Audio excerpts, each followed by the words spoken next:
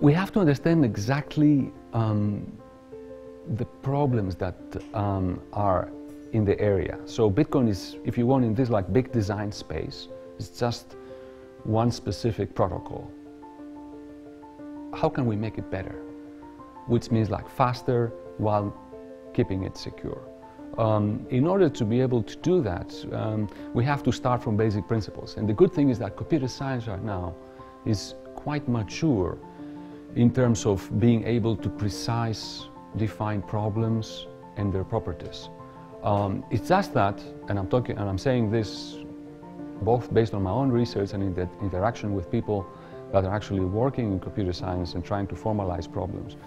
Um, Bitcoin is actually quite interesting to formalize because it, even from a completely theoretical point of view, it looks at problems that we looked at for many years and it looks at them from a different point of view. So this by itself is fascinating from also a theory point of view, not just a sort of real world practical point of view.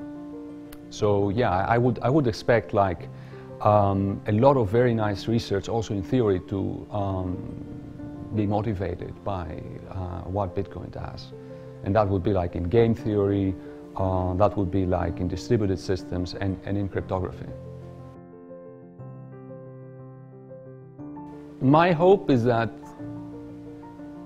Greece would be a tremendous place to actually try cryptocurrencies. Um, that would be, but I have to say also at the same time that um, a lot of um, a lot of people in Greece they're still like quite behind from adopting or be willing to experiment. I mean, and it's um, it's sad to say that in many aspects, like Greek society is still quite conservative, and I really do hope that actually with events like that uh, that do happen in Greece, and they bring like um, a lot of people that.